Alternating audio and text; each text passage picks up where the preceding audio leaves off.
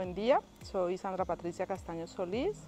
soy egresada de la Escuela de Ingeniería Eléctrica y Electrónica de la Universidad del Valle.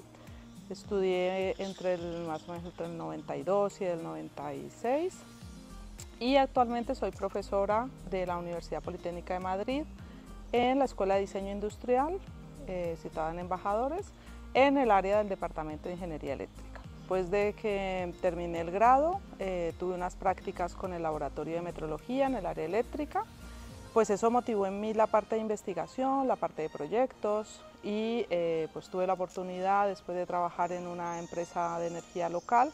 pues de viajar y eh, trabajar, trabajé un tiempo en España y después continué sobre el 2008, pues empecé mi tesis doctoral, bueno el máster primero, después la tesis doctoral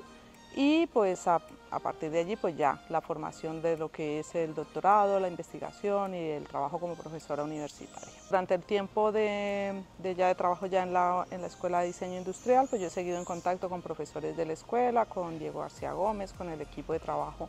del profesor Eduardo Caicedo y en una visita del profesor Caicedo pues vimos los puntos de unión, de puntos de posible colaboración sobre todo en un proyecto en el que estamos, estoy colaborando yo con otros compañeros de la universidad, que tiene que ver con la gestión de energía de vectores energéticos en comunidades energéticas locales. Y pues dado que yo tenía previsto viajar a venir a, visita a Colombia, también quería explorar eh, posibles áreas de colaboración, pues hemos planteado la posibilidad de hacer una charla abierta en la cual dar a conocer la experiencia obtenida en este proyecto en lo que es la gestión de energía de comunidades energéticas locales, las cuales están compuestas por múltiples agentes y también pues están alimentadas por eh, diversas fuentes de energía. Creo que eh, siempre la universidad debe mantener contacto con sus egresados, dado que la mayoría pues trabajan en empresas del sector,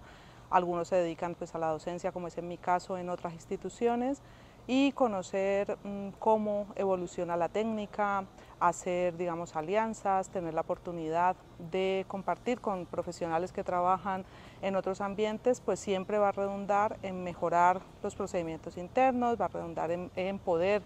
eh, apoyar la movilidad de estudiantes y de profesores y en definitiva pues se mejora y se alinea con las nuevas tendencias de,